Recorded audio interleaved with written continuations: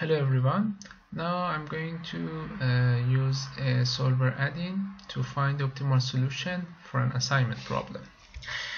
Here are example, a machine assignment problem.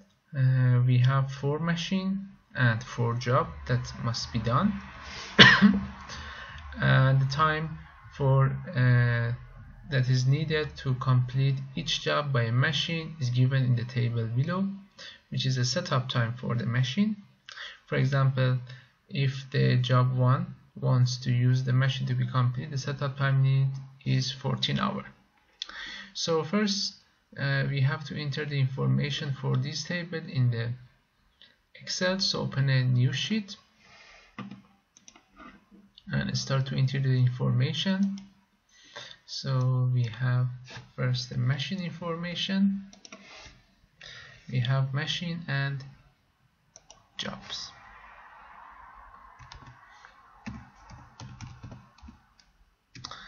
So we have four machine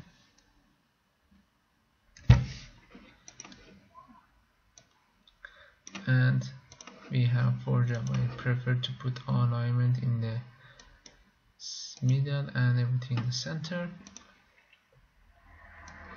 So the time also is given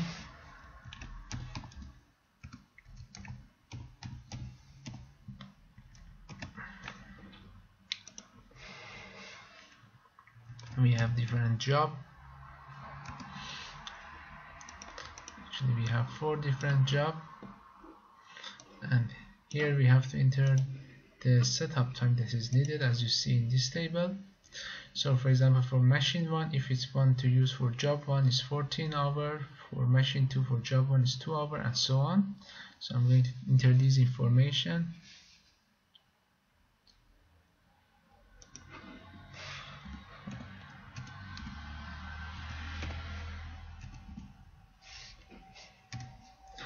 then if you check for the job 2 is 5 12 8 and 4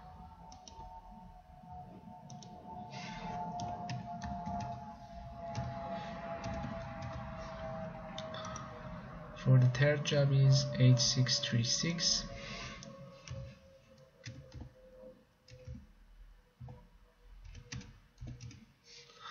and for the last job is 75910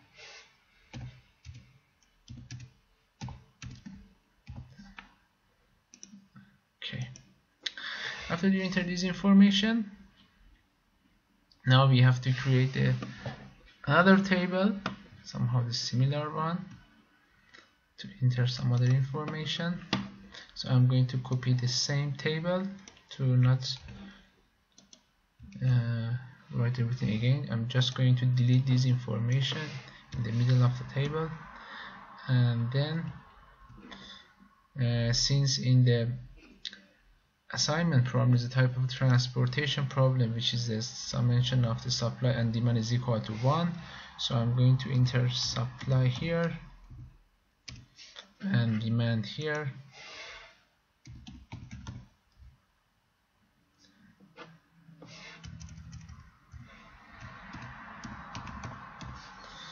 So as you know the value for the supply and demand for the assignment problem is equal to 1 so it means that each job must be assigned to the one machine and each machine must be assigned to only one job.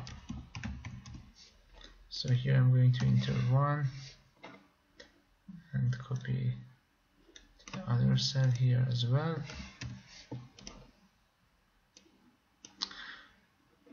So the sign that we have here must be equal sign because here is the supply constraint or machine constraint.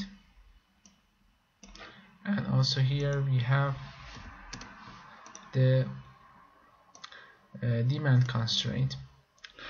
So similar to the transportation problem actually the assignment problem is very similar to transportation problem just one difference that the all supply and demand is equal to 1 so I'm here I'm going to create the z which is the objective function which we can also call it the total time that is take to assign the job.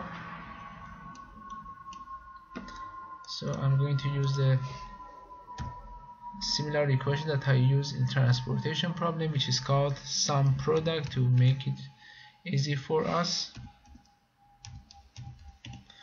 to find the summation of the objective function.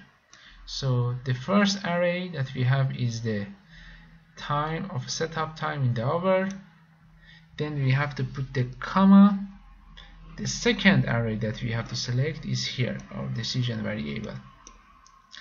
And you have to close the parentheses after that and press enter. Now for the supply and demand we have to use equal sign summation open the parentheses the for the machine one and for the other machine. We can copy it down or write it one by one. I'm going to write for second one as well. Select the number for the machine 2 so actually this is the second constraint which is mean that x21 plus x22 plus x23 plus x24 close the parentheses press enter so we can copy it down as well. For the demand constant is the same situation. We can use sum function. Open the parentheses. Select the summation of for job 1 which is x11 x21 x31 and x41 close the parentheses press enter and you can copy it to the others as well. Now we enter all of these information. Now we can use uh, solver to find the optimal solution. So first you have to go to data ribbon solver here for the set objective. We have here h7 which is total or objective function. Our problem again is the minimization function so you have to select min. By changing variable cell means the value for decision variable of decision variable is written here.